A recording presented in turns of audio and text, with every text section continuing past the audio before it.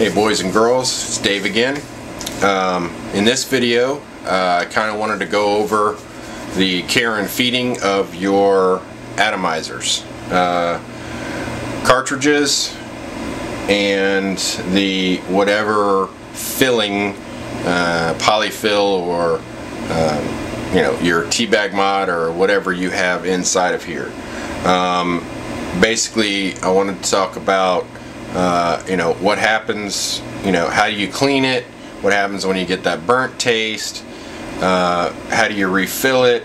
Um, and you know basically care for your atomizer um, so that it will it'll last you for you know three to four months at a time.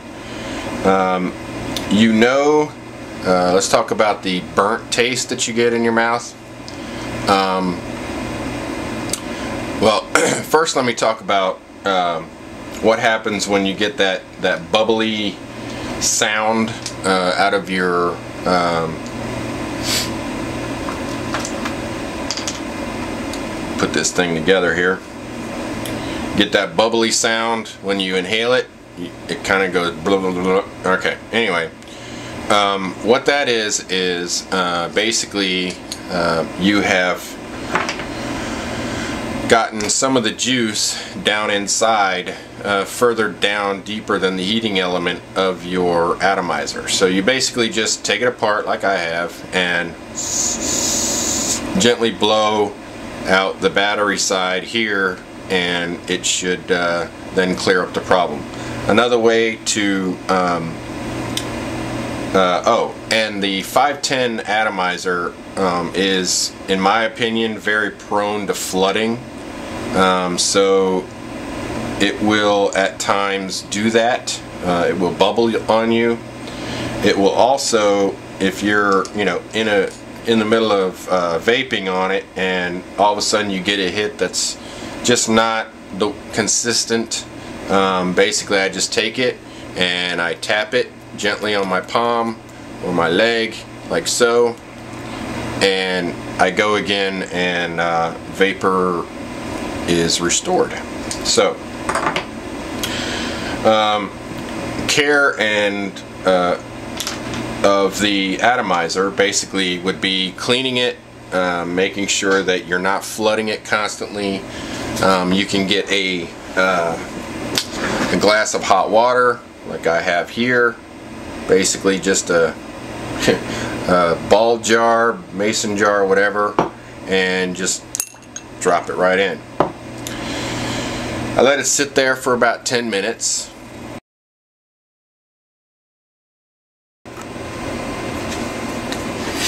Okay, so like I said, 10 or 15 minutes later, uh, now you have this nice, clean, uh, very hot. Use a fork or something to fish it out. Uh, it will be hot.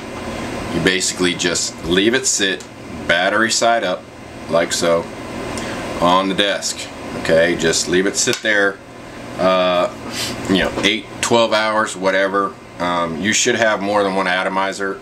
You know every e-cig user knows that um, they want more than one atomizer uh, you know in their arsenal in case one of these dies or you have to clean it. So you leave it sit there 8 to 12 hours let it dry out real good. Uh, uh, the hot water, by the way, will um, dissipate all the, uh, will melt basically. The VG, liquefy it, and it will just come right out of the, the, uh, the atomizer. So, after you've let it dry, um, you stick it back on your battery, and you get some regular clear VG, and you drop it. Okay, one, two. All right, for those of you who can't count. All right, so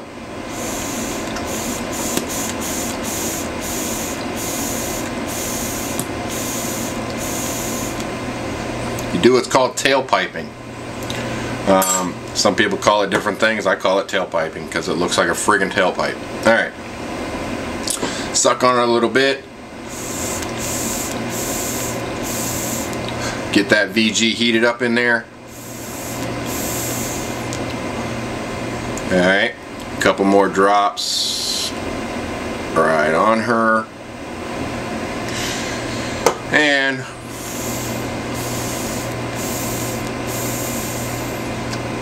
start all over, okay?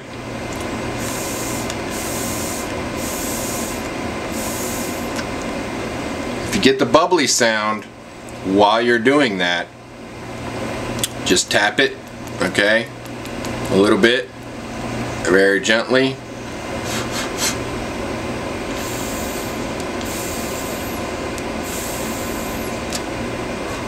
Alright, when it gets too hot to really put up to your lips comfortably, um, it's too much. Just let it let it sit and rest for a minute.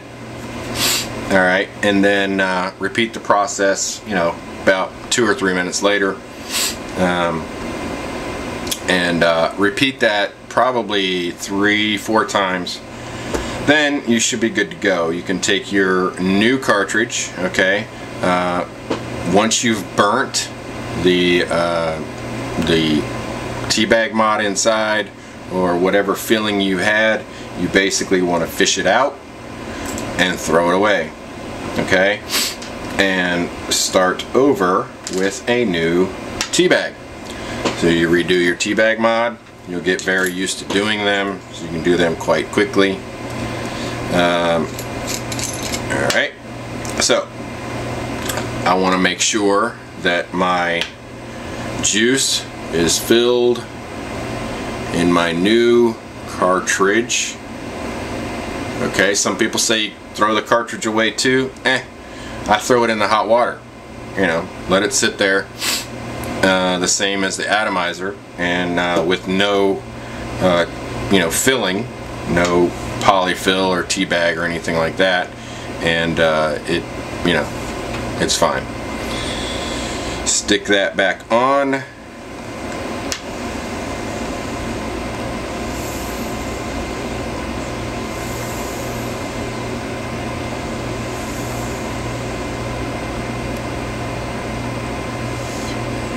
Nice. Very nice. Taste is restored.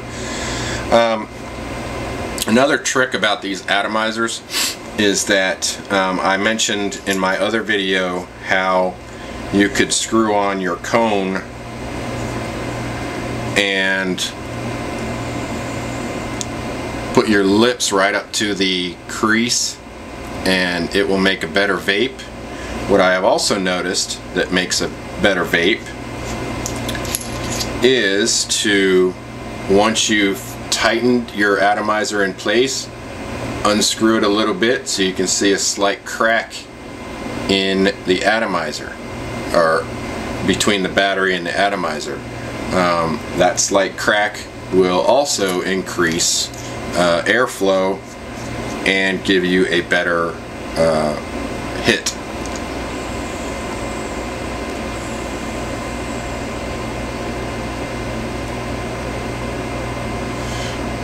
Really nice. So, uh, that is basic care and feeding of your atomizers, your cartridges, um, a little some tips on you know how to vape better. Um, you know, take it for what it is. That's just by my experience. Thanks for watching.